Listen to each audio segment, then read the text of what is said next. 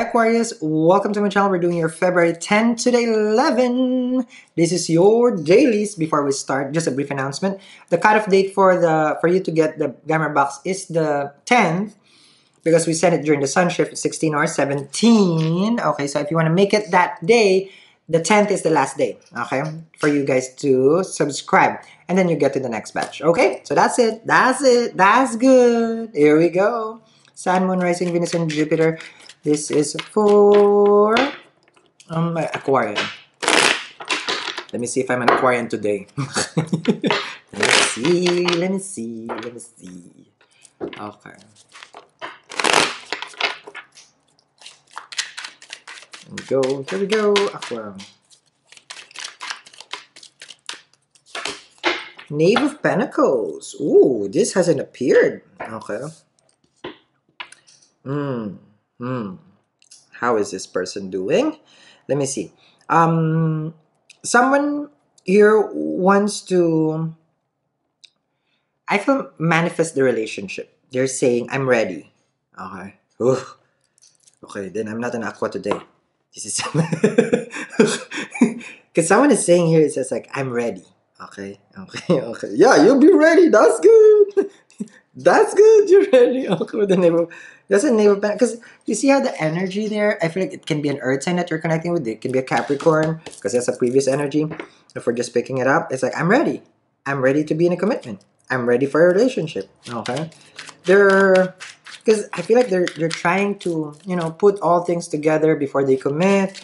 They're trying to arrange their life, this, this, and that. Okay, let me see here.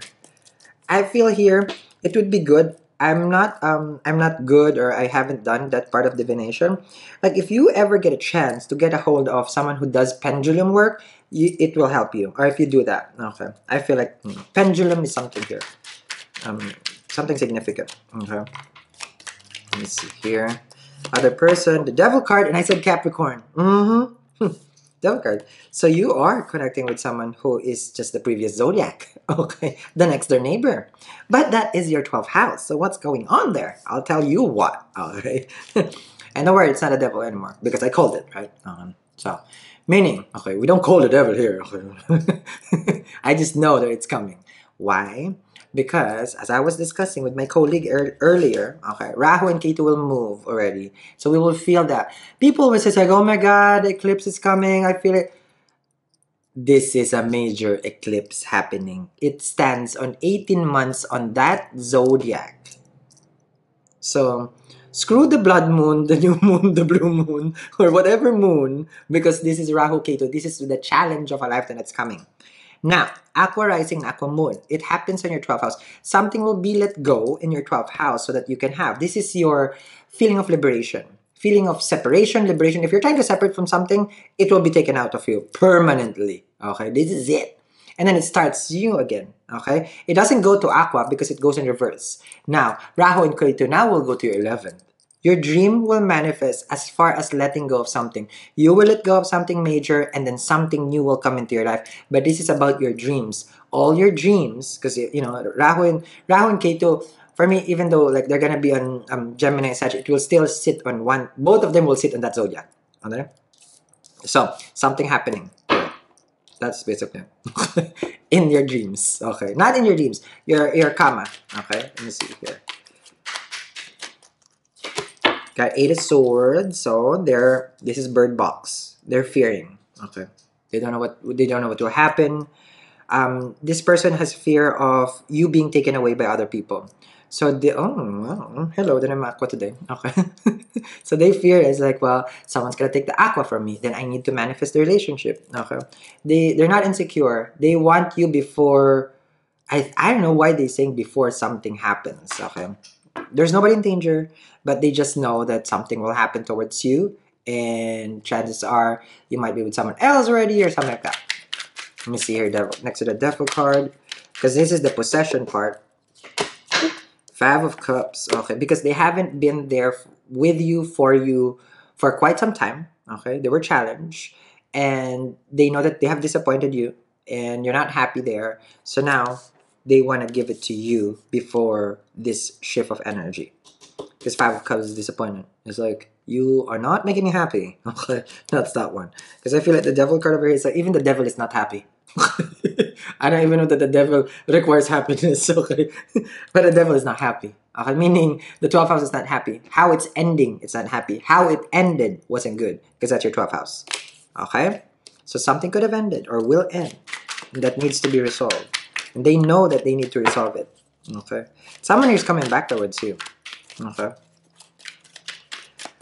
I'm seeing the charts. Sorry, I can't show it here. Okay. Under the Eight of Swords. Ah, Temperance coming back to Sanj. I told you. There have Capricorn, Rahu, and Ketu. Where will it go? Hmm. Gemini. Can be younger person that you are Aqua or you're the younger person. Someone wants to reconcile the difference. Okay. Someone who wants to work it.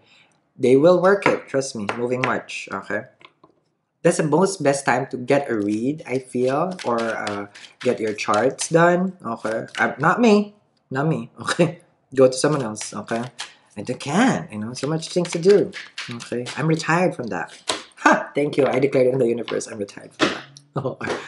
wait a four of swords here you're disappointed in how it ended and how it never begun i feel so we were not even gonna get there. It haven't even started, and then it ended. So it's like an open, open ended. There's no, um, there was no definite, um, you know, conclusion to the connection between the two of you. You're just gonna, you're just gonna about to start.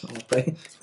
no matter how long you guys have connected, it hasn't even started. It's just about to start. So if it's a song, we've only just begun. Karen Carpenter, I feel.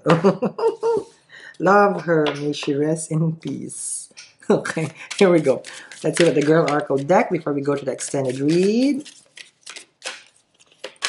Oh wow, turn resistance to acceptance. Okay, I feel Aquarian, there's really a commitment. We've seen it in the previous days. It's coming.